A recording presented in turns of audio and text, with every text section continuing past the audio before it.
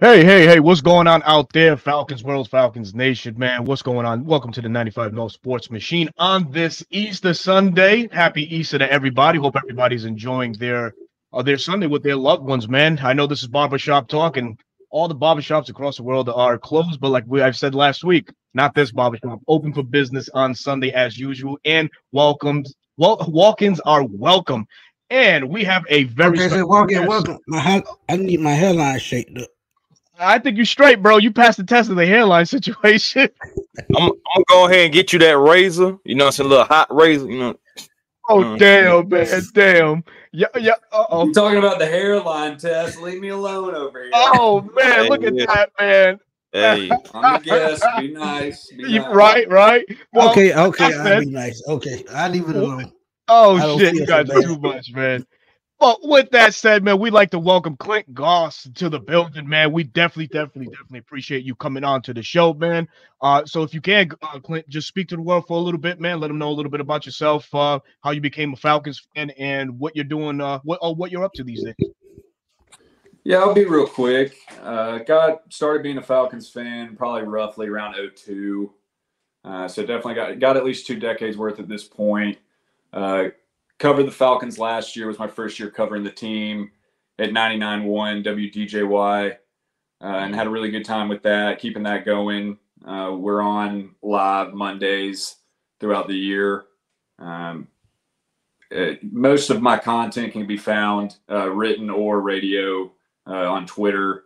I should put my handle here at the bottom, but it's NFL Draft Dome. You can find it under my name as well. You know, otherwise I'm doing my NFL draft coverage at Stadium Rant and year round. So uh, as far as my Falcons fandom, been a fan since 02, but been covering the team uh, for a little over a year. Man, that's wonderful, wonderful man. Wonderful. wonderful, wonderful. Always appreciate uh, you know, good content out there, just and and great perspectives about the team, man. There's so much to talk about in such little time, man. We're gonna condense everything as much as we can. Definitely, you know, knowing that today is a holiday. But shout out to everybody that's in the chat. As Smitty will go ahead and bring up some of the folks that are in the chat, and we'll salute them right as we go along. Miss yeah. Ed Brown is in the building. That's the wifey, man. Give a shout out his sister. Go ahead, man. Brother. She always tuned in. Salute. Um, mm-hmm. Give a shout out Jay Knight, man, my Twitter buddy, man. He called me sure. So hey, shout out to Jaden, man.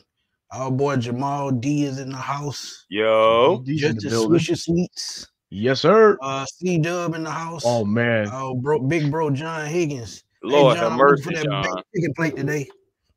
uh, Ed Mitchell, what's up, my dude? Timothy what's Davis and Southside Ricky. Um, yes, sir. Everybody in the house, man. Let's get this thing rolling, man. Let's do it. Let's do it. Let's Hello, do it. man, so hey, we're a month away from the NFL draft, and as we all know, the pairing is there. Coach Raheem Morris, Kirk Cousin, but Chris, you had a very interesting question, man, that I like to get these uh, other minds involved in as well. And, right. and that is who is under the most pressure to succeed? Is it Kirk Cousins or is it Coach Raheem Morris? So I will start with Clint.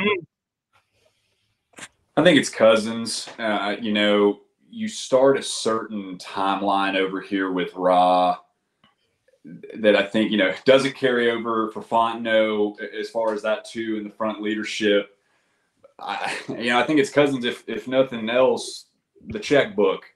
Uh, mm-hmm. you, have really gone in there. All this pressure's been put into getting the quarterback solved, and, and, kind of this setting up a window. I mean, look, you you don't bring in a 36 year old quarterback to say, well, we're we're playing for the five six plus year plan. No, you've opened a window I think it's Cousins, no doubt, uh, because I think there is a there's already an established floor for Raw. He can't go any lower than seven and ten. We've shown that as a team. Where that floor is established. There's no floor established for Cousins coming in here. I mean, what you're going to say? Ridder was his floor? You know, that's not really fair. You know, uh, that that's not comparable. And, and as far as the ceiling, it's it's I think there's a lot more risk here versus a Ra. Uh, that was a little more of the as far as the head coaching market and how you played it. I don't want to say safer play, but that wasn't the bold, risky move going and hiring Raheem Morris to come be the Falcons head coach. Going and signing right. Cousins was being bold, so I, I think more lights are there for me. Mm. Right. Yeah, definitely feel that because of his playoff record as well. People are going to talk about that. Like you just said, the price tag, people are concerned about the money, even though it's really only like a two year deal when you really break it down. Mm-hmm. But him coming in off the injury, it's a lot that goes to Cousins that's coming in right now, you know. So I definitely understand that. You know, Coach Rob, people talk about his, you know, um, winning percentage as a coach and past experience, but Berto, you touched on something uh, earlier before we uh, mm-hmm. came live, and I'm gonna let you get to that as well.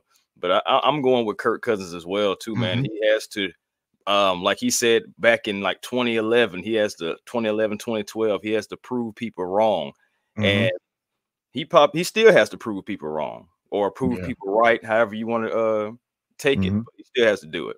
So I'm yeah. roll with Kirk Cousins as well. Yeah, I'm I'm in agreement to that as well, man. I think Kirk Cousins faces the most pressure to just obviously add on to this squad with his skill set. You know, he walks into a situation similar to what he had uh, in Minnesota. Established players at at the you know skill set positions. You talk Bijan, you talk Kyle, you talk Drake London. You know, kind of the same situation Kurt had in Minnesota with with that three headed monster over there at one point. Hockenson, uh, Dalvin Cook, and Justin Jefferson. So the the pressure's definitely on him. Uh, even with even with the Achilles injury and what he's coming off of, to definitely continue continue the ascension that he had in in Minnesota. Um, so pressure's definitely on him. I think for Coach Raheem Morris, I think we're, we're all going to be in line to viewing the best uh the best version of Coach Raheem Morris that uh, that we haven't uh, been accustomed to seeing. He's been a coach through rankings. It hasn't been all that successful. But when you go out, you know, when you're out of that coaching limelight for a while and you're able to win Super Bowls and, and mm-hmm. surround yourself with, with, with coaching staffs that are, you know, just brilliant. You know, you talk about Sean McVay, even Zac Robinson himself with the Rams. So working with those guys, I can already – you know, notice in, in Coach Ra's energy that he's he's appreciative of this second opportunity uh, to be a head coach again. So, with all that said, I think the best version of Coach Ra's is to come, and I'm, I'm just happy that us as Falcon fans are, are probably going to be in witness to that. Uh, Smitty, I know you popped out for a little bit. If you want to just uh, give your thoughts real quick on that question, and then we'll roll on to our next segment. Well, y'all know I like throw curveballs, and I'm gonna just say, um, I think uh, Terry Fontenot uh, oh. is under the most pressure. And the reason why I say that is he's been here three years. He's had a chance to get the players that he wanted. Last three drafts have been big offensive stars. So now he had to make all make it all come together as one. He's doing that with Kirk Cousins, and Kirk Cousins has pressure as well because he has the hundred eighty million dollar contract. But at the end of the day, Terry Fontenot is putting his team together along with Raheem Morris. So Mm-hmm. I think Terry is the most under pressure to win right now. And this is a win now team. If you have a win now roster, you're expected to win, you're expected to produce. Uh, so the general manager will get all the pressure in the world um, right. at the end of the day. Mm. And then and then for Coach Raheem, he's inheriting a good team too. Like mm-hmm. I feel mm-hmm. like overall, if uh, right. top to bottom, if you look at the Rams roster last year and our roster last year, I think you go with our roster over his. So he's coming into better talent, I believe so as well. So um, it may be pressure to produce because I mean we just had Arthur Smith and he couldn't utilize the talent correctly. So he does have to utilize the talent correctly as well. So, but still, yeah, Kirk Cousins, it's just so much pressure on him. People really don't believe in Kirk Cousins, even though they're riding for him because he's the quarterback. They still don't believe in him, no, mm-hmm. despite what the numbers say. I think two good points that have been said thus far is, you know, you kind of mentioned Raw and his previous head coaching experience. That Bucks regime can be thrown in the trash. Yeah, uh, I, I don't put any stock mm-hmm. into that. Mm-hmm. And I, I, like the point you were talking about all the tools being there. You, can kind of pl- apply that to both, but I mean, you know, you just talk about Cousins. It's know, particularly once you go add another receiving weapon in this draft offensively, because you know we don't really need to discuss the defense with him as much as right what's missing for him. You know that offensive yeah. line unit is going to be as good as he's ever had. That running game is mm-hmm. the best he's ever had with respect to Dalvin Cook, with it being a two-headed monster here. Zac Robinson being the perfect fit schematically for him. You know, I know mm-hmm. KOC was as well, but all that just to say, and you know, you talk about the kind of past experience and, and having something to prove between the two of them.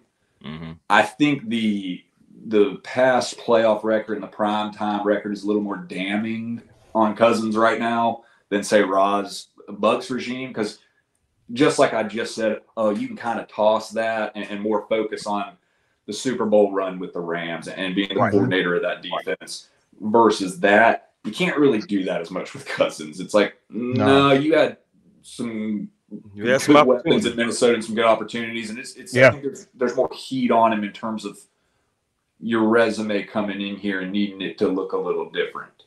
That's yeah, and you got to think too. With Raheem Morris, he was in his early thirties when he got his first coaching job. Facts. tough mm-hmm. anybody that age. So I think you get a mm-hmm. pass for that. You know that type of big thing, like you said, throw that in the trash. You talk about a guy in his early thirties. Uh, Sean McVay succeeded, but look how long it took him to get there. So yeah. now Raheem Morris has a chance to do that too. Yeah, man. Raheem even said it himself. He was pretty much an arrogant guy. You know, I mean, he was a young coach. I mean, come on now, you know, getting that big of a title at that young of an age. I believe he's a lot more humble now, you know, and he believe, like Berto said, man, I believe we're going to get the best version of Coach Ra with this uh, roster talent and everything that he has uh, inherited. And for mm. Kirk Cousins, I mean, for him, we have a good offense and we're going to add to it. I definitely believe that the Falcons are going to still get a wide receiver somewhere in this draft to add oh, to that yeah, offense no as well. Yeah, man, yeah. to add to that offense as well because we got so many guys on one year deals. The only one that's really like lengthy is uh, outside of the rookie contract for Drake is Darnell Mooney. Darnell Mooney, right? Yeah. So.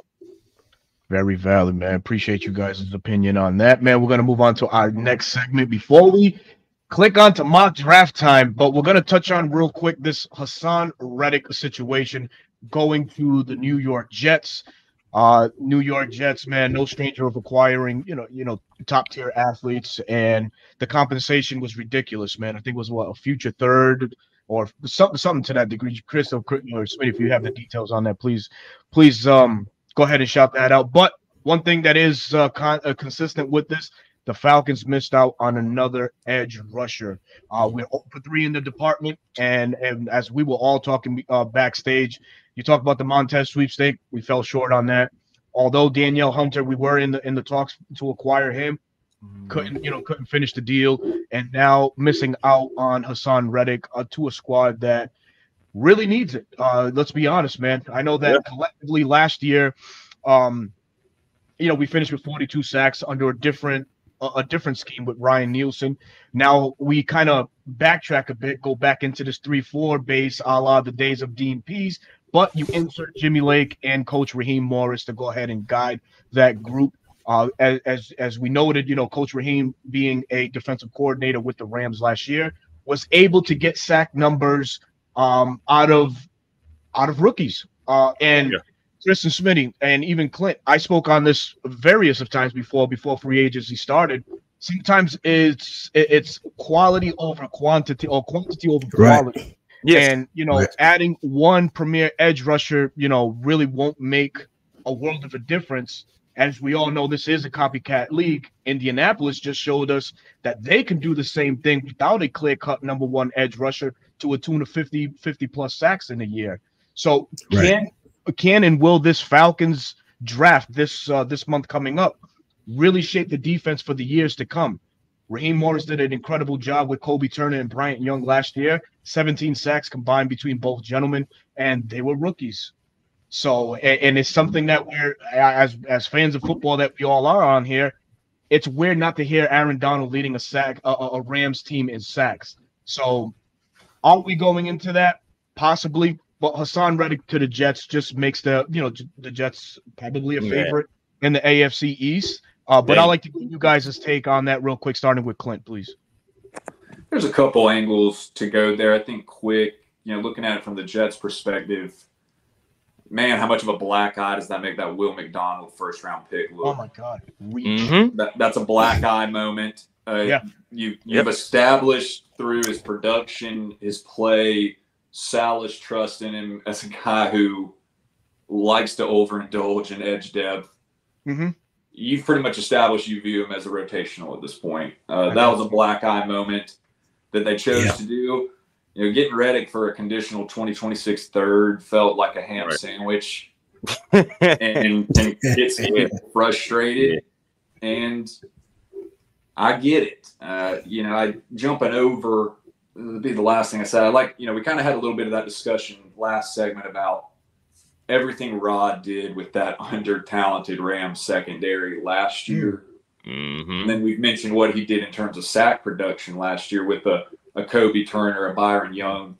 Mm-hmm. Those were third, fourth round guys. Yep. rookies. So yep. just to say what you can imagine with him doing with a Zach Harrison, what you can imagine, and you know, not getting too much into the uh, you know, kind of the mock we're going to look at, but you know, you know, spoiler alert, there's going to be an edge involved in the first round discussion. Facts. You know, I mean, giving him a top 10 level talent like a Latu or a Verse or a Turner versus third, fourth rounders, uh, it's such an established floor in terms of what he can get out of his guys. Uh, it's exciting. I think that it's a good point. You know, everybody likes to really talk about what he got out of the secondary and the defensive line. I, I like to mention both. It's it's really impressive mm-hmm. and it's really tying it back to the question of can he build out this defense more and more with this mm-hmm. draft. What did I just say? Those were third and fourth round picks. You got two yeah. thirds. You're coming yeah. here in the fourth. This is more of a top heavy draft. The sixth, seventh rounds will be more kind of UDFA style players. It's like mm-hmm. you're not there. You've already used some of that. It's yeah. A third, fourth round, those couple picks you've got, and you know when they're going to go early here in the first and second as well. It's oh yeah, he's going to come swinging, and he needs to. Time to cash in. Yeah, it is. Facts. Wonderfully yeah. said. Wonderfully said. Definitely agree with that, man. And um, that third round pick, man, it did seem like a ham sandwich. And I sat there and wondered, bro, twenty twenty six. We couldn't con- call for the conditional pick two years down the line. But as I sit back and think, you still got contract during that time. Mm-hmm. Kirk Cousins may be on the edge by the end, depending on what happens the first two years. We'll see. Um, you probably will be looking at Jessie Bates probably looking up for a re-up. Uh, AJ it, Terrell being his yeah. third year. It's a so, guy named uh, AJ looking for a payday. Again. Uh, mm-hmm. so I mean, just think about it, man. In three years, you have a guy like Bergeron who will be up for a contract. So I mean, I get it. When you look toward the future, you got to think about uh, your key players, and I think that's what they're thinking about right now. Uh, they spent most of the cap on Cousins, Mooney, um, and they still have to re-sign AJ. So I get it. So yeah, you know, the, the they have more pressing needs. Yeah, go ahead. Yeah, the money factor also too, guys. Just something to think about.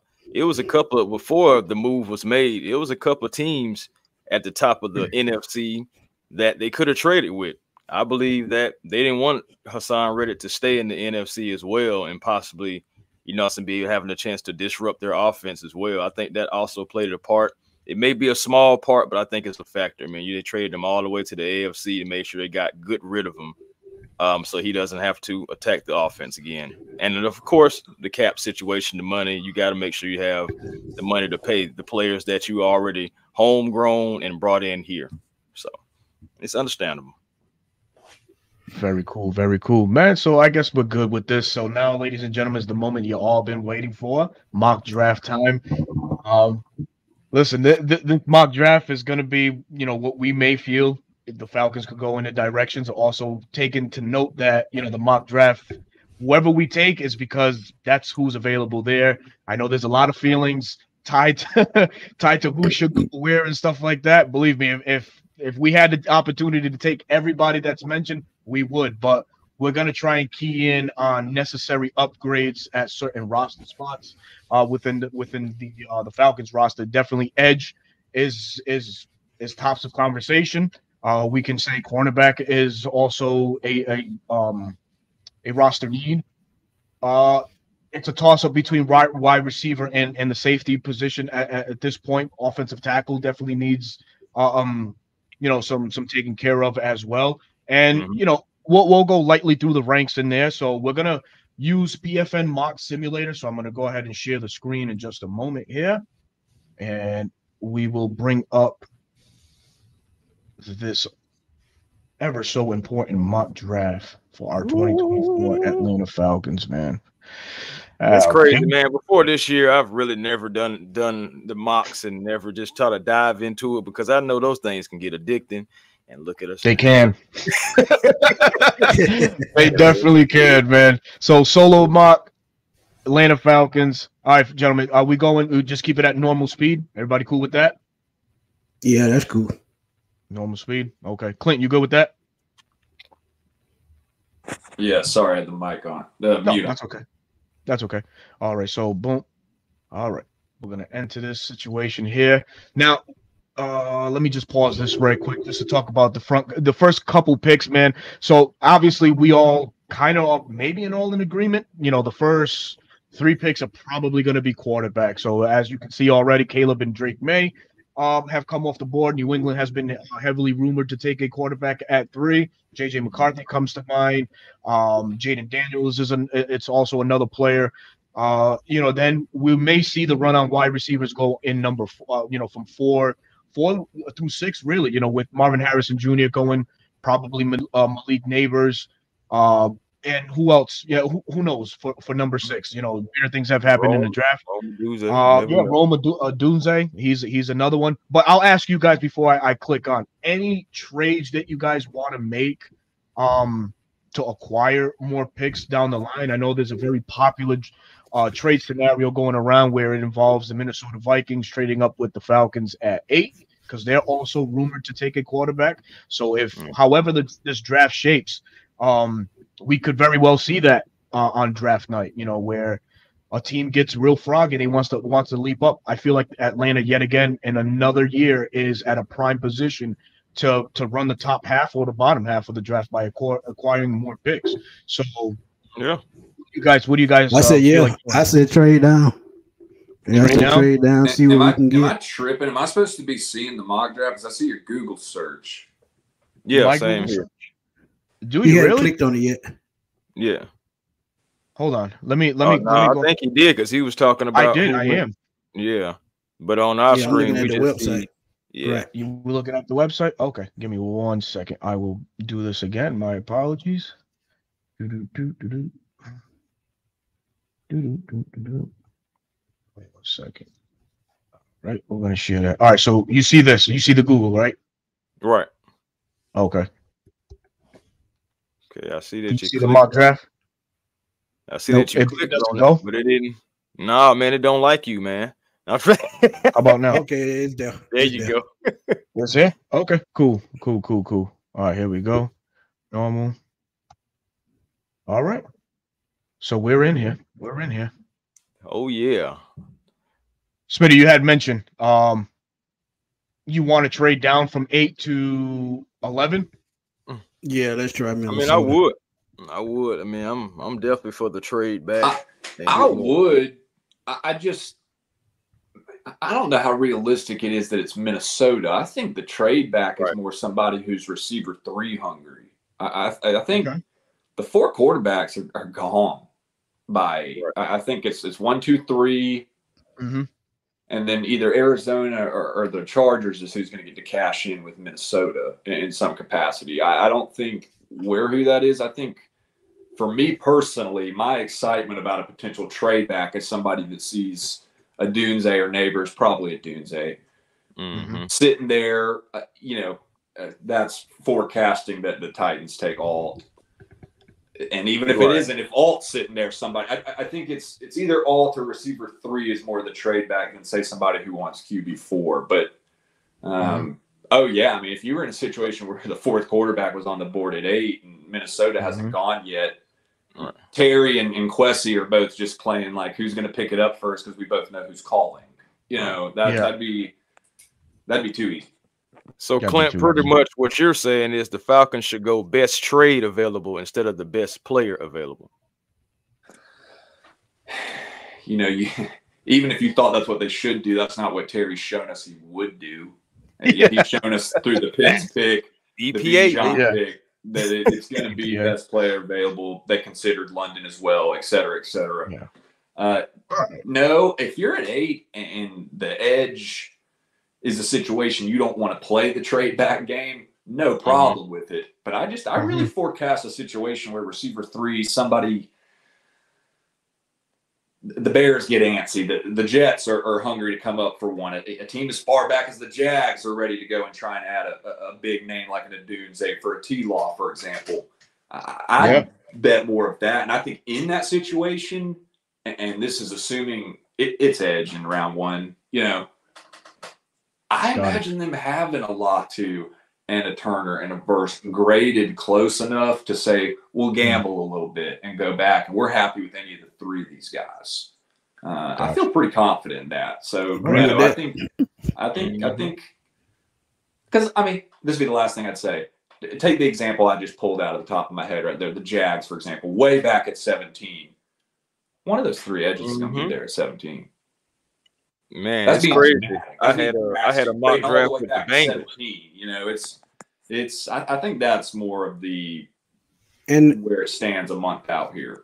Yeah. To hmm. add on to what you're saying, Clint, I agree. I would trade back as far as I can and get as many picks. Because even though one of those top three edge rushes, say like all off the board, you still got Darius Robinson, who I think is going to be a sleeper in this draft.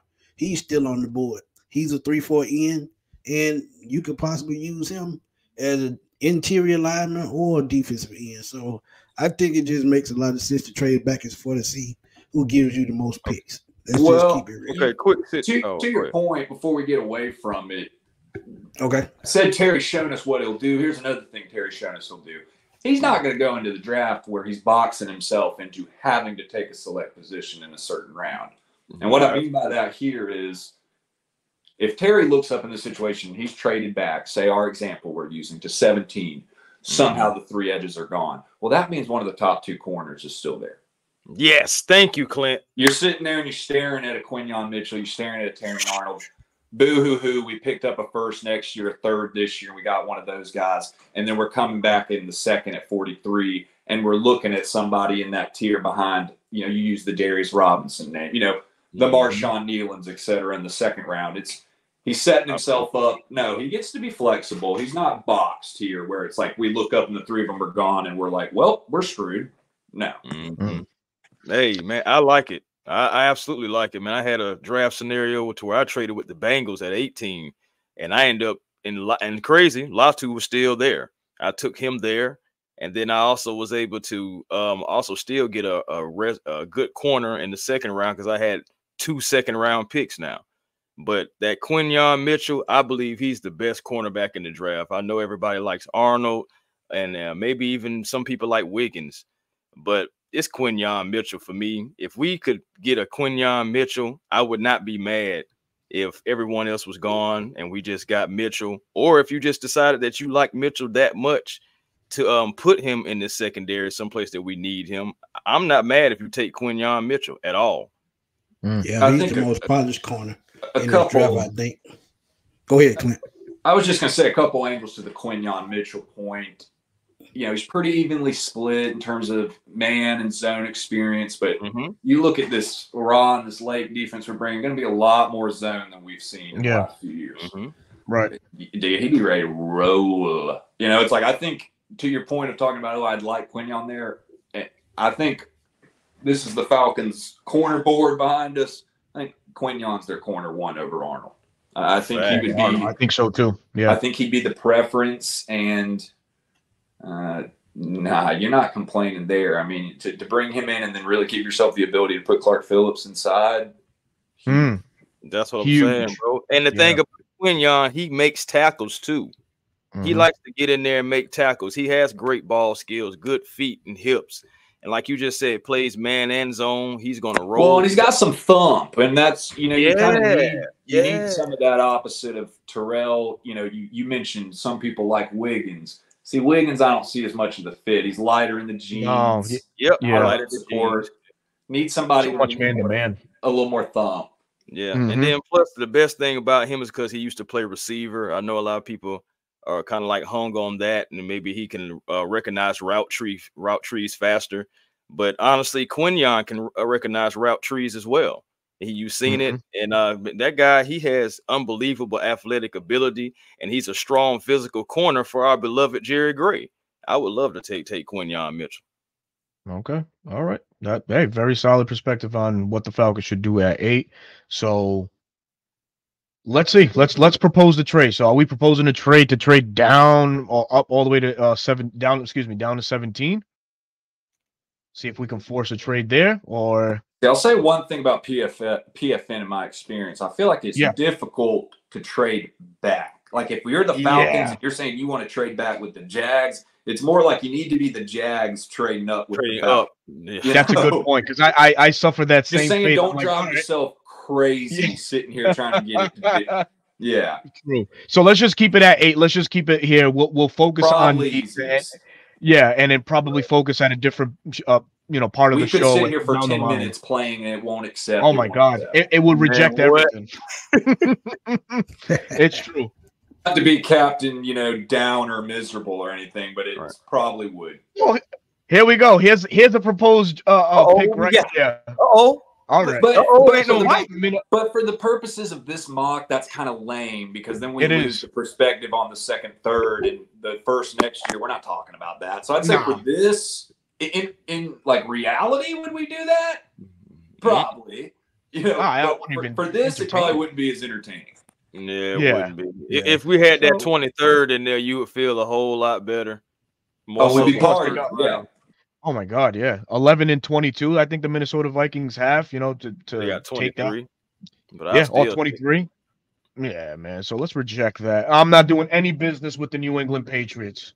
Hold on now. Why not? Let me see. No, they're way up at 34. No, got, second. No, they're way up at 34. Yeah, not, that's why I had to zoom in real quick. I was like, "What does that say?" Because if it was 24, oh, crazy. All right. Here, well, here's a respect. Do it. Do it. Yeah, do I am doing this one. Are you do serious? We get back to back picks in the second round. Let's roll. Why do not? It. Let's roll, ladies and gentlemen. They took Terrion Arnold with that one. Oh man, that's who you went with. Cool, whatever. I, am not doing nothing with the with, with the with Dallas. If you sit here and and and no, no, I, I, I like the position that we're at. We're at well, 13, ladies and gentlemen. Hey, and we, I was gonna say if yep. you want to go edge, we got to take them now. We got to take right here. Turner's gone. Mm-hmm. Latu and Turner is gone, but if, if if everybody can give their their point of view on on the constant battle that we got going on, is is Dallas Turner true edge number one, or is it Laiatu Latu true edge number one? I'm I have I I, I say Latu is consensus edge number one, man. I think you talk about a, a kid, sure, you know, the medical and, and, and all of that. But look at his body of work his last two years uh, for UCLA, man. Uh, 23 and a half sacks. Really has had had a uh, clean bill of health, and he's coming into a situation where he ha- he knows what Jimmy Lake likes um, from from his defense. Although they weren't incredibly tied to the hip because 2019 2020 was when he was medically disqualified and that just so happened to be uh, jimmy lake's last year's there with with uh, washington uh, but you like what Latu and his makeup, his his pedigree, uh, the the the repertoire of moves that he has versus what Dallas Turner. Uh, there's a lot of there's a lot of things that you can work on. You know, he as as athletic as he is as an edge, he relies too much on his uh his speed and power, and with that, he doesn't know how to properly use it. His hand usage is not as good as you would like it to be. Uh, some some people will say those things those things are coachable. Uh, but you've had all this time to coach that up uh, uh, while his time in, in Alabama, and he's still so, showing the, the same uh, downfalls in, in that aspect. Uh, and to me, Dallas Turner is really a, a one or two maneuver type guy. Uh, he doesn't really he doesn't really set up the tackles as as great as Latu does. Uh, Latu has broken down some of his uh, some of his own film, and I've seen some of his own film where he's consistently in a game setting up the offensive tackle and Latu is just baiting him to play his game and just become and and outright be the successor at the end of the game um, for, for those for those tapes. There's one bad tape on Latu, and that was against uh, Taliese uh, Fuaga out of Oregon State, who's still on the board at 14. He's a dog, yeah, absolutely. Yeah, he's a dog too. That was just mono e mono right there in that game, and it's just that was hey. that was great. And a lot of people like to highlight the um, Georgia game for Dallas, where you know he kind of beat up on uh, Amarius Mims, uh, the offensive tackle there. But as it stands, I think uh, consensus edge number one is Latu, but I'll, I, I like to hear what you guys have to say, starting with Clint. Am I losing my mind or somebody playing the techno? Man, what you talking about? I'm sorry. I know, right? I hear that in the background too. I don't know what that is. It says the voices in my head talking to me this early on on Easter. I hope not, man. Um, you said you wanted me to get going. And I can start talking about it. Yeah. Y'all just said the Fuaga and, and Manu Manu with Latu. It's like, yeah, Fuaga will probably be the next pick to New Orleans right there. Um, probably. But I really battled with this Edge one thing, man. In terms of Atlanta and in terms of just general. In terms of Atlanta, I feel confident that Verse is number three on their board. I, I think Versus would be a great pick here. Like in terms of this mock we're doing, I'm going to speak that I think it should be Verse most likely. I agree with that. And I think it'd be great, but I feel comfortable that he will be third on their board, more of a 4 3 style edge versus the other two. You're right. You'd have Turner in that kind of outside linebacker, pass rushing role. Latu's got more than the size. I think Latu's their guy. Yeah, I, man. I, I everybody and his brother is mocking Turner, and I get it. And I could very well be wrong. I think Latu's who they want. I think if if they looked up you know, unlike us in this mock, if they looked up and it was like, we're not trading back, we've traded back as much as we can, they're all here, we're taking our pick of the litter. I'd bet my cash on Latu. I think he's the best fit, and I think he fits the window the best because whoever it was, I can't remember which of the three of you, was essentially saying Latu's got much more of a bag, much more technically refined yeah. versus yeah. a Turner, even coming out of Alabama.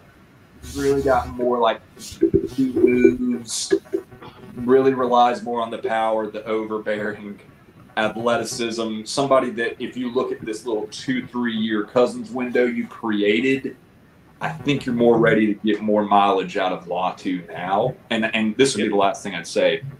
Don't sit here and look at me and say you're scared about Law Latu's neck when you just handed the bag to a 36 year old cousin. Hello. Hello. Yeah. This isn't the time to say like, I'm nervous about medicals. It's like, nah, buddy, you you you're out here. You you you stepped out here. You're out here. You you in the octagon now. You got to fight. You know, it's like we're here. Like I don't see him being scared. I really don't. I think the medicals are checked out like everybody wants. I think the media is hyping this more than the league is. Yeah, I think Latu would be their guy if they got to pick their preference. Gotcha. No, gotcha. yes, sir. Hey, man, another and thing. definitely, gotta... it's definitely the need, correct? So I'll you if you guys are okay, I will go ahead and take uh Jared Verse. But Chris, I'm sorry, you, you No, I was just something? gonna say another thing about Latu, man. I like a guy who can come back from a, from something that he was going through, man. You got the comeback stories, the feel good stories. This guy had to work his butt off to get to where he is right now after having to be medically retired uh, a couple a few times. Like it was more than once he had to be medically retired. So he had to work his butt off to get to this point. Give me a guy who's a hard worker, who will play through things, who will do the best that he can to stay on the field because he realizes more than the other two guys right now that football is not forever. It can be gone at the snap of a finger. So he's going to give everything that he has for you, night in, night out, play in, play out. I really believe that about Latu. All right. So we're going Jared reverse here? Oh, yeah. Oh, yeah. We're going first now. Clint, you called it, man. Fuaga goes to the uh, Saints on that one. it mean it. It makes sense though. I do understand. Yeah, absolutely. Yeah, oh, y'all went there. Point Trevor Penning to the bench and tell him to grab him a Gatorade day one. Hey. Oh man, I like that. I caught hell for taking um Michael Penix in round two. Smitty, Chris, you guys were there for that yeah, yeah. I remember they were saying you messed up the draft or something like that. I yep, yep. I, look, man, I I'm gonna go ahead and reject that. So we got back to back picks. Now we can really do some things here with these back to back picks. Uh definitely. Well, you know where I'm rolling. Before we even start, you know where I'm rolling. T'Vondre T'Vondre uh, Sweat, true nose tackle in a three-four alignment here is is a very intriguing name that you know Jimmy Lake and Coach Raheem Morris can add. Uh, let's see what we have left for edge. Um, Brandon Dorlus is my draft crush. Mm. He is one of my favorites here, man. Guy that can play three or five technique, move really move like up and down the board. Um, you know, gives me that Kobie Turner. Kneeland's my favorite player in the whole draft. Really, I, I, like Kneeland. He's got like an NFL prototype right now, man, and that guy he can fit in any defensive scheme. I feel like, man, that guy's a yeah, he can underrated. Mm-hmm.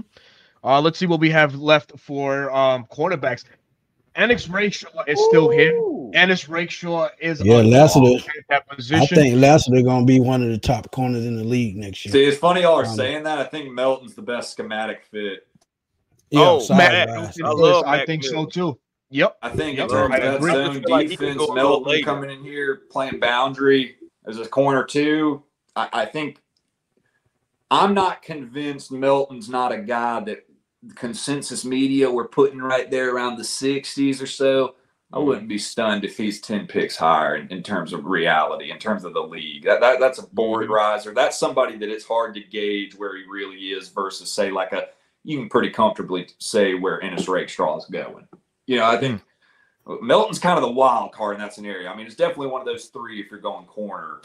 But. I, I, wouldn't just toss him to the side and say, "Oh, it's Lassiter or Rakestraw." I think they'd be talking about Melton in that scenario too, and wouldn't go wrong either of the three. They're all great players. I'm glad you touched on where they put him in the draft because there's so many mock drafts to where I see Melton in the third, and just once time I actually seen him in the fourth on a on a random. So it was no! just, uh, yeah, exactly. I'm with he, you. he's that. not making it to day three. That's not happening. He, not at all. Yeah, I don't think so at all. On day three, no way, no how. Mm-mm, not at all. That that kid's good, and the thing about it is, you're not going to have to do too much to uh, get. Oh Lord, he gonna get to the quarterbacks and pause. pause. Berto, Berto's a trip. Look, Clint, Clint, you, you made a fascinating point. Why not grab a Gatorade, sit uh, sit on the bench? With a guy of this, you know, of his talent, yeah, the knees are, are buckling but he ran a four of four six. Has had pretty a pretty decent um bill, you know, a clean bill of health the past year or two for Washington. Kind of not kind of he does fit where the Falcons are going in, and it's it's more of a you know spread offense, passing the ball around, uh, you know, making plays with the arm, also with the legs. And Michael Penix exemplified that in Washington to a tune of back-to-back 4,000 yard uh, throwing seasons. Uh, plus 30 touchdown passes in both of the years. So you get a kid like this that you can mold and have him sit under Kirk Cousins and really understand the game and what it takes to prep uh, and have this, you know, quarterback heavy coaching staff that uh, Atlanta has assembled and really, you know, dig their, their their feet in the sand and just get this kid right. Michael Penix will be an absolute home run for the Falcons in round number two. Sure, everybody's going to frown and say, "Oh, we don't need quarterback." Kirk Cousins is not the quarterback of the future, folks. Man, he's just a short-term. Neither is Taylor Heinicke. Now, neither is Taylor Heinicke. So next year's you know, quarterback class is trash. Yep. Uh, yeah. Boy, boy. Yeah. So, I, I, Clint, what do you what do you feel about the Falcons going Michael Penix in round two if he's there? Because the combine, I mean, so excuse me, the pro day really uh, showed a lot of teams that this kid's ready to roll. Uh, you know, he, he, showed the speed, he showed the arm strength, he showed that he can, you know, make pretty much every throw in the in the in the route tree that there is. So, what do you feel about Clinton? Uh, uh, about Michael Penix to the Falcons in the second round? You know, everybody don't throw the tomatoes at me, but I, I do I do feel passionately about this one. I don't think it's realistic. I don't think Penix fits the Falcons' needs anymore and I would not be pleased. I think Penix is a great quarterback. He's QB five for me. It'd be a good value. But what did I say earlier in this episode? Mm. You've opened a window. Don't play scared. I said that about lots. You, you're not playing scared. It's like you're not playing. You're not playing for five years from now. We're, we're playing for this two, three year window. You've gone hard on Cousins it's kind of like the old quote about what was the Peyton Manning. They said about oh Peyton gets all the quarterback one reps, and they say yeah we don't practice when we're uh, F. 18 goes down, we're F. You know, it's kind of like if Cousins goes down, we're in trouble. You know, mm-hmm. I I think you've opened this win now opportunity where let's let's just super quick a couple of the guys we mentioned just looking at that board. Yep. I don't know how you say no to a Max Melton right now. I don't know how you say no to a T'Vondre Sweat right now. I don't know how you say no to a Marshawn Kneeland right now. I don't know how you say no to a a, a Brad. I don't know how you say no yeah. to some of the, those receivers available. I don't know how you say no to some of the swing tackles available. But it's just I, I don't think you, you want to get a quarterback with some high upside you can develop. Let's talk in the third round with the Spencer Rattlers of the world. Uh, I just don't think you've got to cash in top 50 picks right now on people that can start day one next year mm-hmm. right now. I don't think you can say no to Sweat and yeah. and some of those other guys. I just so Sweat at 43. I, I, don't I don't think it, it's going to get a corner. I don't. Yeah. I okay. think Sweat at 43 and then corner at 44. Mm-hmm. Let's see what, what's this. Oh no, oh 49. Man, I, am going right through there. Man, I'm going right through this. If not, we're gonna be here for 10 hours trying to I know, right? trying to get trying to get all of these. But okay, so we landed T'Vondre Sweat, you know, a position of need in which a lot of people say, Oh, we got Grady, we got uh David Onyemata. Yeah, but you know what? The depth behind them, it doesn't really look that solid. Uh, and we don't know how uh, Jimmy Lake and Coach Raw are going to use these guys schematically, right? We, what we do need is a true nose uh, in this uh, base three four alignment, and nobody's better at this right now than T'Vondre Sweat. So we, yep. great Grady and Onyemata are great players, mm-hmm. but they don't have that wide backside like Sweat, man. They're yeah. big boys, but they're not a wide load like that. That's yeah. That's He's taking two people at time at least. And and I'll I'll say this, and T'Vondre Sweat coming to the Falcons, the two people that are that that stand as ben, uh, beneficiaries in that in that pick is Nate Landman and Kaden Elliss because now these guys can roam free with with a space eater in front of them and opening up lanes for these guys to, to have free rushes, free blitzes, and just re- really hone in on stopping the run that much more. And so, Troy Anderson oh, can play down more. absolutely. Absolutely, Troy Anderson from from day one, and Smitty. I mean, you you you've been there on my rants about you know Troy Anderson. Use him as an edge in some way, shape, yeah. or form as a Swiss size speed. He has it. Yeah. He has the intangibles for there. So T'Vondre Sweat pick at 43, 44. Uh, hey, listen, man, Lassiter and Rakestraw are still there. So Max Melton also also there. Uh, and like Clint was saying, uh, you know, Max Melton fits fits the mold uh, a little bit better than Rakestraw possibly in, in, this scheme. So if you guys are good with it, we'll go Max Melton um, at 44. And hey, I think a last note before we did this, we talked kind of about the pairing with Terrell. Look at those. I don't feel super passionately about any of the three. If, if y'all said we wanted to take any of the three, I'd say cool. Yep. Mm-hmm. Melton, yep. you're talking about like four four sub four four speed. Rakestraw, you're mm-hmm. talking like four early four five speed. Lassiter, you're talking like early to mid four or five speeds. Just in terms of a little more of the burner, this this zone fit. If I was to say what I think the Falcons would do, I think Melton would be their guy. Yeah, Melton would be their guy. All right, feet. Okay, cover a little bit more. Let's a little faster. We'll go. We'll go. Max Melton. Bang. Hey, it's not so a bad pick though, man. That's three starters. That's three starters on defense. Even if you consider Sweat as a two down player rotationally, because you know he's not going to be out there eighty plus percent of the snaps. He'd be dead on the floor. You know, yeah. I mean that's that's three major. What what we talk about the win now thing. That's day one dudes. Yeah. Yep. Actual fact. The Department. So Jared, Jared Verse, T'Vondre Sweat, Max Melton, all defensive guys. Um, on an eve of free agency where and you got to reward Jimmy Lee. Got to reward him. Got to reward, reward Jimmy. All right, so we're back up again from what it looks like, and at 74. What are we thinking here, gentlemen? Let's see what we have left for edge. Going Kneeland. You going Kneeland on that? Let's look offensive. Let's see what yeah, absolutely. All right. So, do you guys feel like the Falcons should add a wide receiver in the early rounds, or is this something that we can? They probably they'll probably wait till day three. They'll probably wait day three. There's okay. a couple names on there now. You got. That, I mean, that you can still man. wait on. You got to take Kneeland. I love Roman Wilson. I love Pearsall. I'm really high on them, but yeah, they got to get two solid edge rushes. I play the yeah. as soon as I say, as soon as I seen Kneeland still there, class man. I mean, yeah. I, you're not going to mess that up either way. Those are all great picks at 74. Yeah. But I'm, so, if I'm in that room, what did I say? I said earlier yeah. he's my favorite player in the draft. If I was in the Falcons draft room, I'd be pounding the table, standing on it while mm-hmm. screaming, telling everyone mm-hmm. we got to take this guy. So that's what I'll do here. It, okay, it no, yeah, yeah. So Marshawn Kneeland. So th- for me, there's also some other intriguing guys. Uh, Austin that's Booker. Uh, you know, uh, you know, he's uh, um, burst onto the scene really last year for Kansas. He's still a, a work in process. But what he has shown you is some explosiveness and a good a good arsenal of moves. To me, Jalyx, uh, Jalyx Hunt and Javon Solomon, man, these are two very uber intriguing prospects for me.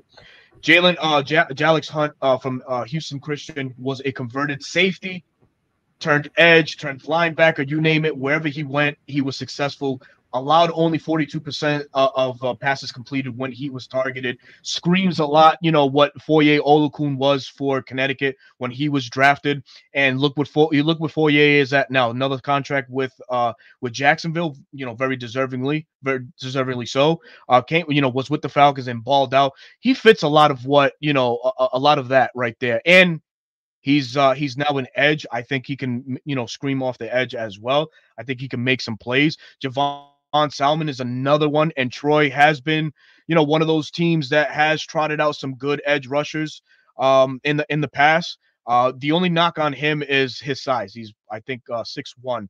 But in a world that's seen that has seen success at the edge with guys like Elvis Dumervil, uh, you know, Javon Solomon fits the bill, man. Incredibly athletic, uh, and has the sack numbers at Troy to um, to definitely have um, to make him worth a, a draft pick here. But Marshawn Kneeland definitely, you know, the the the top tier right here at 74. So we'll I, definitely just, go real quick before you click sure. it. I would just yep. lastly say we're picking again at 79. Right here, yep. you're playing the game of who do I think won't make it five more picks?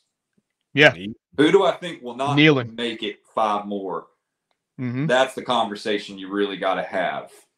Valid. Yeah. And I think Kneeland is the guy right there to, to have that you know, Chicago. Uh, we don't know what the Jets will do, but you know, uh, Oakland and Washington, and, and a lot of what a lot of people don't realize is Washington's uh, defense is depleted. You got no more Montez Sweat. Chase Young is gone. You lost Da'Ron Payne a few years back. Jonathan mm-hmm. Allen is rumored to be traded. So it's like you got to start rebuilding that off uh, that defensive line. Excuse me. So Man, we'll everybody that comes after us can take Kneeland. Every and not enough, team. and not enough are gonna. Oh, okay. I said that there. The next two picks. All right, I'm gonna go jump out the window. Um. oh man. So we're back at it again. We're back at it again. So let's let, us let us review the picks that we've had thus far. Jared Verse, T'Vondre Sweat, Max Melton, and Marshawn Kneeland. Two edge. Falcons double dipped in the edge uh, department to pair along with uh, DeAngelo Malone, um, and Arnold Ebiketie. So I think we're good defensively. Now I think we can Gotta start be a receiver. yeah, um, start building that the safety spot, the offensive tackle position uh, could also be, have some some um, can you know can have some upgrades. Uh, yeah. Kaleb McGary, uh, you know, we can definitely start moving on from him after next year. And why not, you know, draft his replacement? Jake Matthews, the bloodline strong, but he's not going to last forever. 33 years of age, uh, you know, 10 plus years in the NFL and Iron Man for the Falcons he's he's going to probably start showing signs of decline or, or, slowing down at some point. So I, I would really like to focus on offensive tackle here. Dwayne Ledford, our offensive tackle coach, man, has done a phenomenal job with with uh, rookie last year, uh, Matthew Bergeron, and guard Chris Lindstrom. Uh, you know, he's done some things with, with Drew Dalman, so that's another position too. But what do you guys feel as, about the offensive tackle position at 79? Mm, I would probably go uh with oh double R um, I I know he has. Uh, I don't know a whole lot about him. Not gonna lie about that, but I mm-hmm. have seen his name and heard his name in, in a mm-hmm. good in good spaces. So mm-hmm. um, in the in this round, this is what it's day three. So yeah, in, in this round, I wouldn't mind, but you also still got to look at who's left. You know, it's in around mm-hmm. and start thinking about will any of those players be there in round 4 mm-hmm. Like mm-hmm. who's going to be there in round four? You know, because it's going to be a minute before we draft again after seventy nine. Mm. Very, so uh, you know, you know we, so we could go the 2016 route and and you know definitely start shaping the future if you want to if you want to say that javon bullard is still on the board out of georgia uh you know currently we have uh, jessie bates and richie grant uh and and uh demarcco hellams from last year but richie grant's probably the lesser out of the two and Javon Bullard is still here as well. Uh, Clint, what do you what do you feel we should go? Where should we go? Oh, which, Cole which Bishop is there brother? still too. Cole Bishop is still there too. But I like to get Clint Clint's thoughts right quick on the direction the Falcons. Yeah, that's that's a tough. I say tough. It, it's tough in the fact that you've got so many good options. That's a good problem to have. Yeah, it but is. Very good. That that's tough in the fact that love the tackle idea, particularly from a swing perspective. Mm-hmm. And, and, it'd be a, a, fun situation. You know, I, I, remember the first three names on that tackle board were Rosengarten out of mm-hmm. Washington. Mm-hmm. It was uh, Amegadjie out of Yale, and mm. It was Fisher out of Notre Dame. So you wouldn't take Fisher. You'd go for the upside no. play because you got time for development. Fisher's more yep. the floor guy, those three. Yep. The Yale kid's probably the highest upside. Washington, Agreed. yeah, Rosengarten's probably the safer play. You wouldn't go wrong with either of those two, but it would be one of those two. You'd aim for the ceiling. Mm-hmm. I like those two options. And you mentioned the two safeties, Cole Bishops and Cole Bishop and Bullard. If we're talking yeah. about the four defenders we've already cashed in on, and we're oh looking at cashing a fifth in on one of Bro. those cats, buddy, sign me up, buddy. Like, yeah, uh, that I mean, Bullard playing a lot of that nickel role and being yep. able to trot back at safety, he'd be a dog. Bishop, Bishop's a name. I, have said this about a guy or two thus far, so not to be repetitive, but this one, Bishop's a name that us in the media and, and draft analysts, etc., are too low compared to the NFL. Bishop's going to go higher mm. than people think right now. I think that's a guy that the league's going to be higher on. To your point of you, you said a second ago, Chris, when he came on, you said, "Oh, Bishop's still on there." It's like, yeah, if, man, because I'm like, what is he still doing there? Real draft right now. People would be looking at each other in rooms, going, "Bishop's what? still here." you know, it's like you would have yeah, Chris's that, reaction. i I'm trying to tell you, Bullard and Bishop be a tough decision. But choosing between those two tackles would be a tough decision. We've talked about receiver, but I I, I agree with you, man. I, I'm not mm-hmm. convinced you don't have to see if you can wait till 109 because those are four great names to choose from. The, the receivers, I, I, remember off the top of my head, you had pulled up. It was McMillan, yep. Tez Walker, some of those names. I just don't think mm-hmm. you're improving yourself this year, next year, year three, as much with that move and beyond mm-hmm. as with either a swing tackle developmentally or mm-hmm. one of those safeties. I, I, am I'm, I'm kind of like y'all. I, it might sound unconventional in what we expect to say. We still haven't taken a receiver yet. Mm-hmm. Look, yeah. Kyle Pitts is essentially a receiver. They've got big receiver two expectations for Mooney. Rondale Moore coming in in that third hole. A guy that you bring in at the 109 to supplement that, they're fine. I, I think, nah, I think it'd be one of these tackles or um, one of those safeties, man. One of those. Thank you. I'm blanking for a second. Safety. Yeah, yeah. I agree with you. Yeah. I, so I wouldn't. I wouldn't mind going Javon Bullard here and really solidifying the defense. We've we've you know, we put so much onus and attention onto the offensive side that, you know, we have to remember where this Falcons defense was last year, ranked 11th, you know, albeit it was under a different regime at the time and a different play caller. Uh, and a lot of the players have returned. Two minuses are Bud Dupree and Calais Campbell. So that's 13 sacks that just are floating out there. So the right. more solid, the, the more, um, the, the more solid players that you add on to this to the secondary, make it easier for the guys up front to do their work and work their magic and have Jimmy Lake and, and Coach Rob really dial up these exotic blitzes and stuff like that. So I'm all for solidifying the back end uh, with Max Melton and Javon Bullard at this one. And just a quick reminder, folks, it's the way that this mock draft is is really falling on draft night. It could be something similar. It may not be mm-hmm. anywhere that we're going, but since it's here and it's available for us, we're going to attack it in that sense. So continuing the draft as um it goes along. We we pick uh, next at 109. Oh, they go to tackle. The tackles, there was a little small run on tackle there. Spencer Rattler left mm-hmm. to Seattle out of all places. Austin Booker is off the board. Okay, so we're back up at Ooh, 109.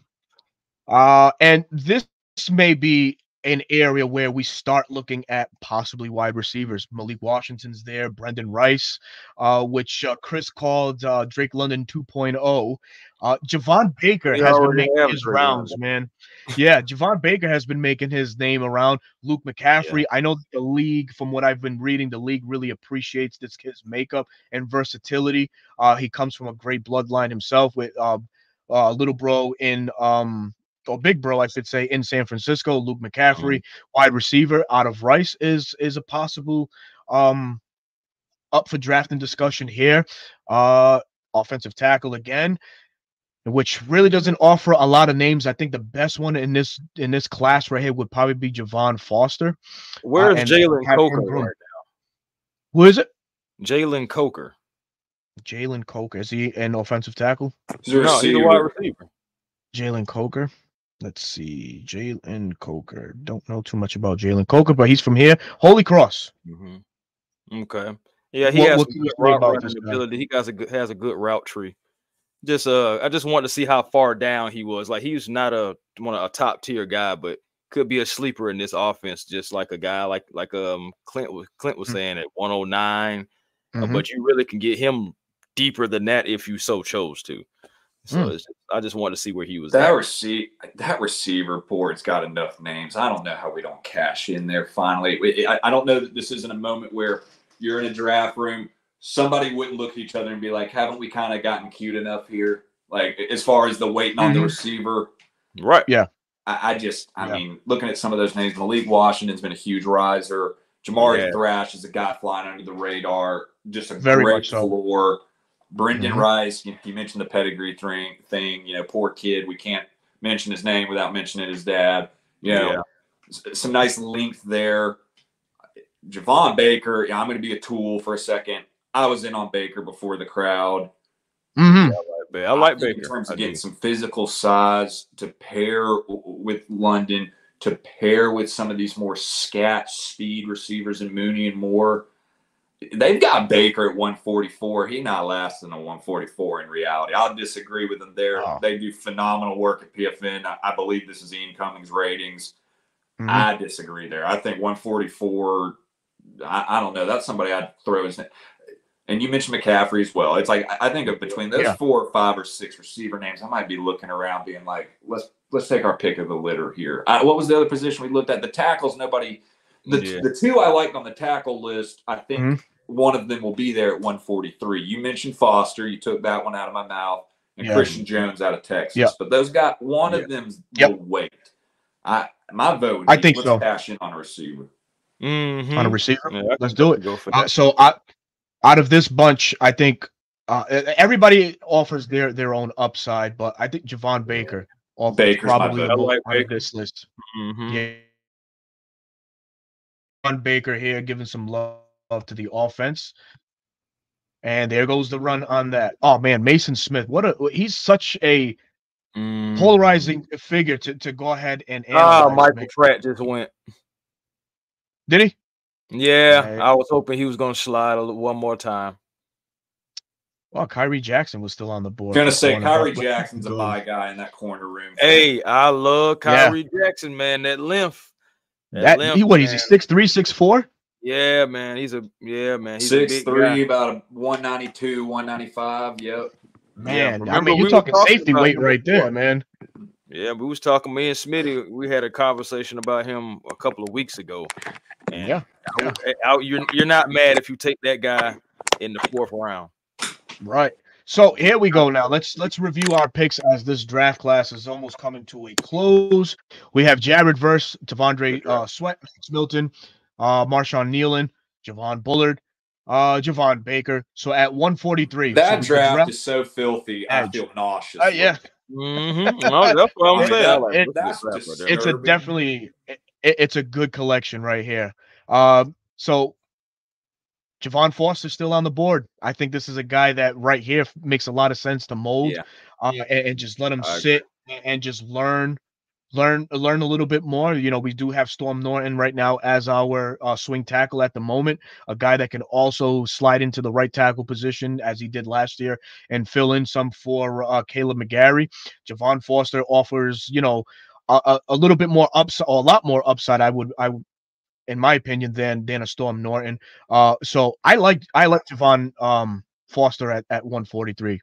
Yeah, what do you I'm, feel? I'm on that train too. If you guys are down with it.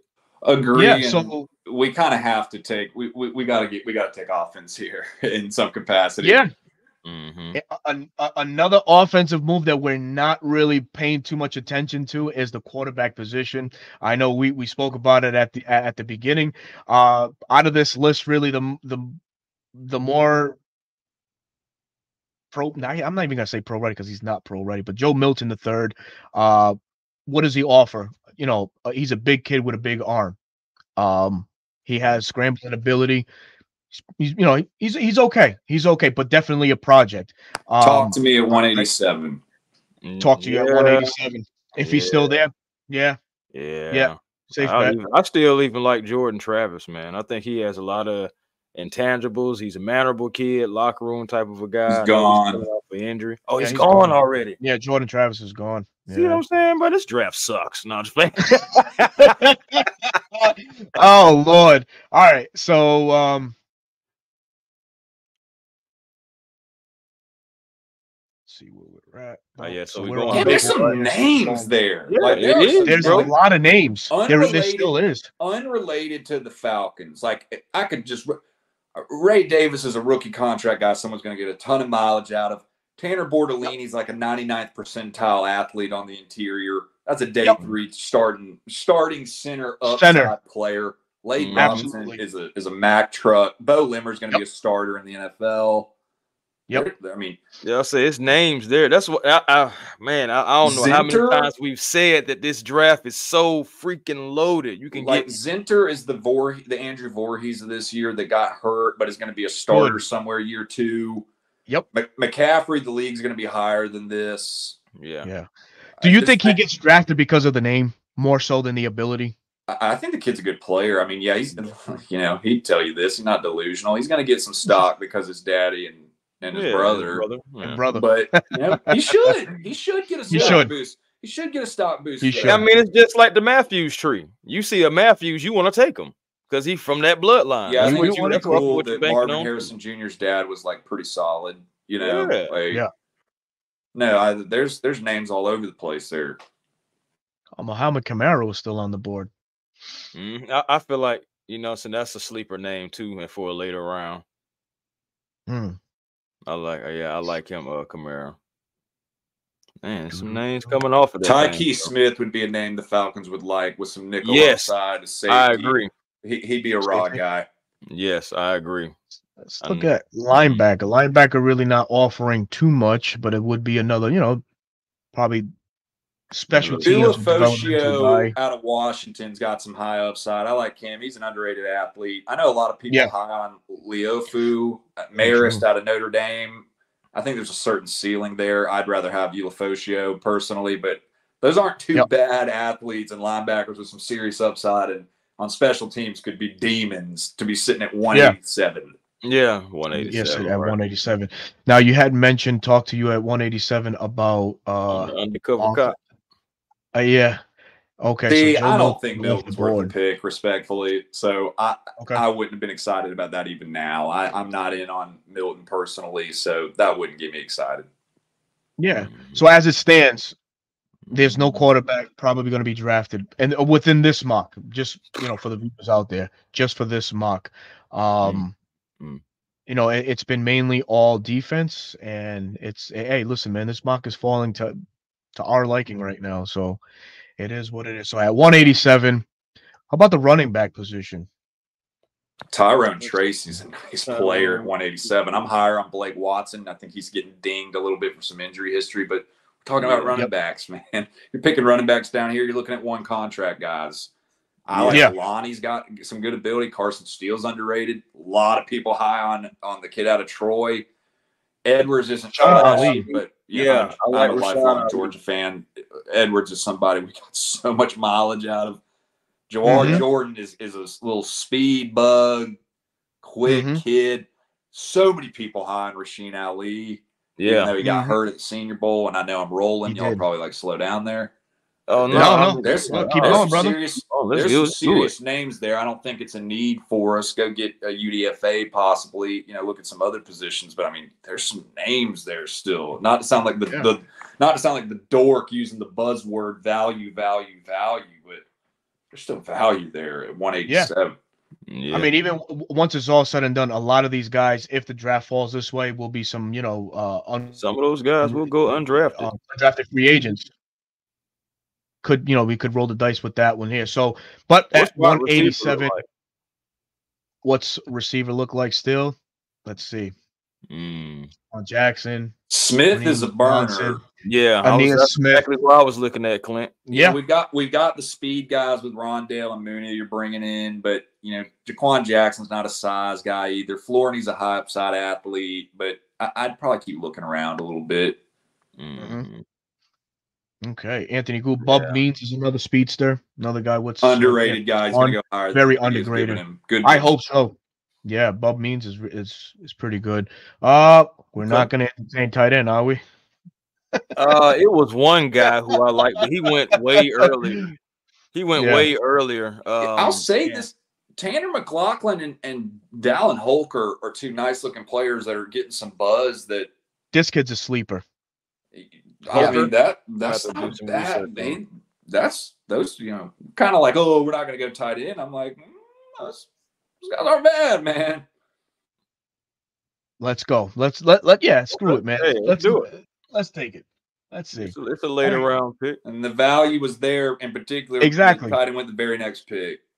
Oh, your boy just went Ulofoshio. Mm-hmm. 197. Okay, so this I think would wrap up the draft. Yeah, for us. Anymore. Yeah, for us. Mm-hmm. So just throwing something out there. Let's see offense center.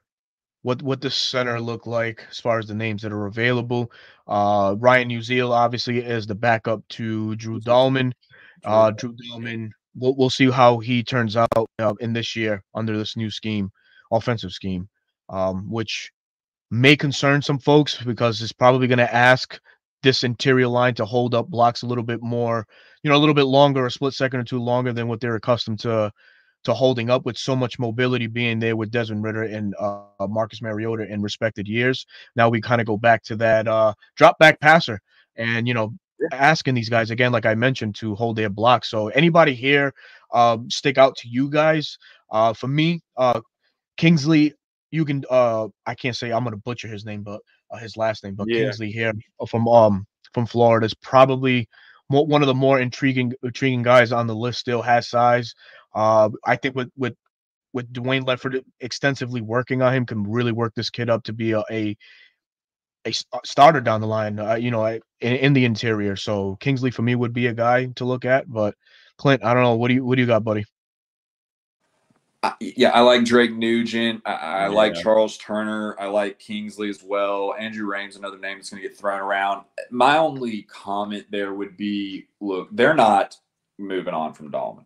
They're going to roll out Dalman, and they should. I, I, don't. I think there's other holes to fill beyond Dalman and where he is. And, and in terms of uh, mm-hmm. Dalman is, in terms of centers, like a 98th, 99th percentile athlete.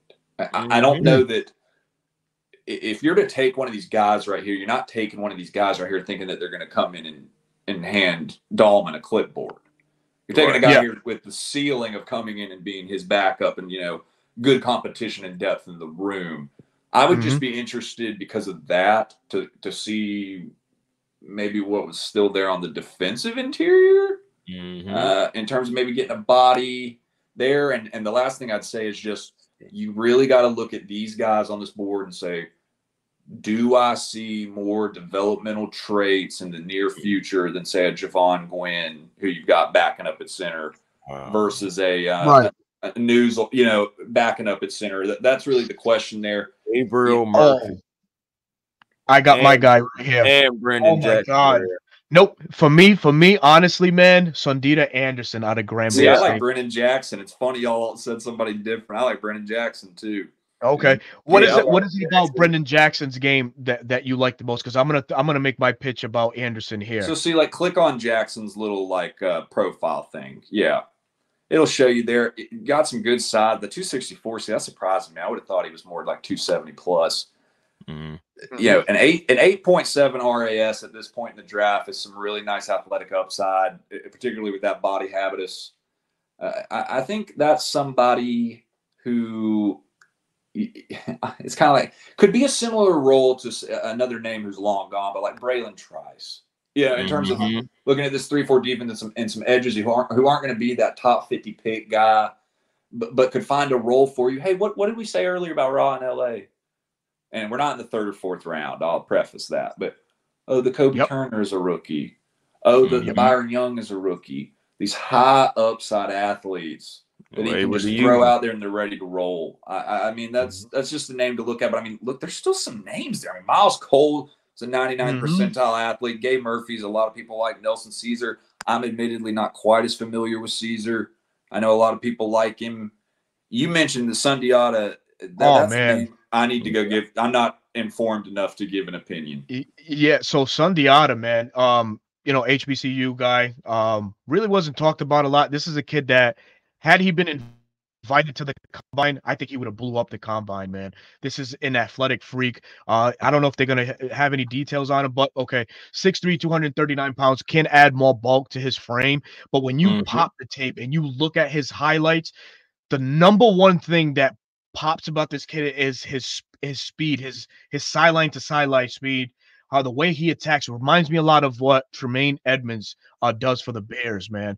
Uh, just a just mm-hmm. a sleek-footed kid, man. Uh, he doesn't get the love and recognition that he he should, but this kid right here is, yeah. If he's here, th- uh, this is a home run pick for me, absolutely. And I'll, I'll throw my two uh two two cents into this kid too right here. Gabriel Murphy. You know, you yep. watch Latu's tape, oh, but. Murphy pops. You keep look, you keep seeing like, man, who's this other kid screaming on the other side? But you know, right. this kid offers no, a little bit Murphy as he as he's more of the tweener. He's more that you know uh, you know, defensive end, defensive tackle uh, kid. You know, you could you can interchange him in both positions. Another intriguing guy, and who knows? You know, that's something that may intrigue uh, Coach Raheem and and Jimmy Lake. But for me, it would if these two guys realistically on draft night is there, I'm kind of pulling my hair. It's like, oh man, which guy I'm going to take, man. But for me, I would take uh, Sundi, uh Sundiata Anderson in this in this. Uh, I was going to say you feel more passionate here than I do, so I'd say go with your guy. Yeah, yeah, I go with him. Chris, what do you got, Chris? I, I don't want to. No, I mean I like the Gabriel Murphy. Honestly, he had good yeah. forty, good vertical, broad jump, mm-hmm. ten yard, all things that I need on the football field. I'm not knocking mm-hmm. the other two guys because I actually like those other two guys, but since we're already uh, talking about them already, Gabriel Murphy, he's an athlete, man, exceptional athlete. On the other mm-hmm. side of a lot too, he can go after the quarterback. He has good IQ, uh, aligns well. It's a lot of good things you can say about that guy, man. Good, oh, good flexible lower half, something that is important too. So it's just in this at this place right now, 197. You can't go wrong with either guy. So, but yeah. I wouldn't mind taking Murphy as well. I wouldn't mind taking any of these guys right here. Yeah, I'm gonna go ahead and take Anderson on this one. Is that's gonna wrap up this portion of the mock draft as everybody go ahead go you know is gonna go on and oh, take yeah. their guys. No, he went to the Tracy went to the Cowboys. Ain't that something? Uh, Brennan Jackson to the Lions. He's oh, gonna be a beast there. I mentioned how Kneeland was my favorite player in the draft. My second just went Sione Vaki out of Utah. Vaki, yeah, out of mm. Utah, safety man. Yep, he he went Safety, yeah, man, like, but safety, some... but RB three upside. That guy was averaging 16 and a half yards a catch out of the backfield at Utah and having about five, six yards of carry. You talk about a guy get a 53 spot on the day three. Vaki's a yeah. stud. A stud. Somebody gonna get them a sleeper. Hey, that's what the draft is all about, man. And you know who, who's uh, who's better at that, really, You than than the Falcons, man. A lot of teams can't come close. They don't come close to picking these uh mid round gems like the Falcons do, brother. Oh, Logan Lee was still there. He went. Yeah, he just went. Tip Reiman's like a 99th percentile athlete at tight end for the Texans, man. Pair him up with Schultz, the nice and you, and you can't go wrong with a tip You know, you really can't. So, and Mr. Irrelevant is Anthony Gould. Well, there you have it, ladies if, and gentlemen. If Anthony Gould had not been drafted, that'd been one of our first calls yeah. for UDFA. Yeah, yeah, yeah unbelievable, man. man. But there you have it, man. Here's hey, man, here's our draft for the first one. It's not a, it's not bad. Very defensive um heavy, but of course, you know, got to maintain the integrity on defense. Uh, so with offense being shown so much love in the offseason, why not? This go, draft asked J- Jimmy Lake my question. Uh, I said pressure on Jimmy Lake. Y'all are being coy, sitting here like, oh, that's not bad. It's pretty good. Forget that. I'll come in here with the heat. That's yeah, we go. Let's go. yeah. Are you kidding oh, me? Oh man. Kneeland, Kneeland and Verse, that's day one. Sweat's day one. Milton's day one. Bullard's day one. Baker day one. Holker is contributed day one, even rotationally. And then the two developmental projects on the offensive Dang. defensive line. Yeah. Then you got Hammer, your at the end, Hammer, Anderson. Hammer. Hello. Mm-hmm. That's a day. That's you say that that's a B plus or less. You're a dork that's trying too hard. Facts. I'm going with that. Oh man, I love it. We addressed it. it we addressed it a lot of a lot of places right there, y'all. I understand people oh, talking man. about the quarterback, but hey, man, we gonna have to figure that that out later on. We ride with Kirk, win now, win right now, and honestly, even if we did take a quarterback in this draft, he's not. He's you know he's not going to play unless something happens, and we don't want anything to happen. So technically, we don't want him to play this year. So yeah, and next year most likely. So yeah, you know, man, I understand the quarterback thing. I do, but that's a that's a good draft, man. Like yeah, man, it's a, it's a solid it's a solid draft, man. Uh, as most folks are see realizing now, Smitty had to part, man. He had uh, some stuff to take care of, so we right. went on and delivered the show, man. Uh, there's so many people in the chat, man. Man, thank you guys so much for joining this uh this stream this afternoon. Uh, I can't get to all the comments there, man, but it's loaded with um with comments, man. With good and, stuff, you know, from our good people. Yes, yes, we definitely appreciate everybody that came out today to rock with us, man. Clint, thank you so very much, man. We had a great time. I appreciate you know collabing with you and and, and having your uh, perspective brought to the table as far as some of these uh, uh, draft prospects, man. So so much so much love and, and, and, admiration for you, man. Thank you so much so much, man. If uh you have anything you say you want want to say before you head out, man, uh please do. Yeah, I was just going to say thanks for reaching out and having me on. Uh, definitely look forward to collabing more in the future. And, uh, you know, I'd lastly just again, you can find you know, my name uh, or NFL Draft Dome on Twitter. That's where all my activity is. Uh, I share all my NFL Draft and Falcons content there. Uh, and during the mm-hmm. season, I do some general NFL, uh, but not much. I, am more on the NFL Draft side when it's not Falcons. So, but no, thanks for having me on. It was great. I enjoyed it. Yeah, man. These next four weeks are going to be great. It's going to be great. Full with news, filled with news, man. But thank you so much again, folks. That was Clint Goss, ladies and gentlemen, from Twitter. Thank you so much, my friend. You have a good day, man. Yes, sir. Yes, sir. And Chris, man, what? How? How about it, brother? We hey, just man. up our first uh, mock draft of this uh, the Sunday afternoon. I mean, hopefully we can we, we can add up a you know add in another one sometime soon and yeah. uh, go from there, man. So a lot of people, you know, again, thank you everybody that showed up. Uh, CDX for Life said it takes one team to screw up the draft, man, and that and that really speaks volumes, man, because everybody's draft board obviously uh, looks different. So right. It, it's gonna it's gonna take one team really in that top ten to overvalue somebody that we feel may not go or should go in that top ten, and it just snowballs from there, man. So who knows? Maybe we pray on that and and we can we can get somebody, you know, fall to, to number eight where another team might feel like, oh my God, we need that guy, and they want to, you know, come up and trade with the Falcons. Who knows? There's, there's so, so all, many. All it takes is avenues. the Patriots to take Marvin Harrison Jr. at oh, three, oh, and God. then next thing you know, what the hell? oh man, oh man, oh man. But before we part, man, again, uh, thank you to everybody that showed up today, man. We really appreciate everybody's perspective and view on this mock draft. We went um we went defensive heavy, man. Uh, and yeah. again, you know, this was predicated as to what players were available. We didn't try to entertain as many as many uh, trades because, man, it would have taken us all day to do that, man. So many, so many avenues we could have went in, in, in, that one. Uh, but Chris, uh, before you head out, let the folks know where they could find you uh, on your socials, and let the folks know also, please, what you have coming up, man. Oh man, well you already know the show that's cool and fly to A1 Forever Sports. That's the platform on YouTube. We be generational because it's always time to be, and we don't settle for less because you can always have more with the vision. Please come by and stop by, man. Subscribe, come chat. I interact with pretty much everybody who who supports. I don't really don't like that term subscribers, so I really um uh interact with everybody who supports the channel and on you what what is it uh X Twix whatever you got. You can find me A1 Forever. You can find me A1 Forever on Instagram and the real A1 Forever on uh mm-hmm. TikTok as I drop little highlight videos on there. As far as things coming up, to be honest with you, um, I want to get into so much content. There's so many content ideas that I have. But 1st mm-hmm. and foremost, man, I'm almost uh, close to graduating. Um, Full Sail University, the Dan Patrick program. I will yes, be graduating sir. with my bachelor's degree.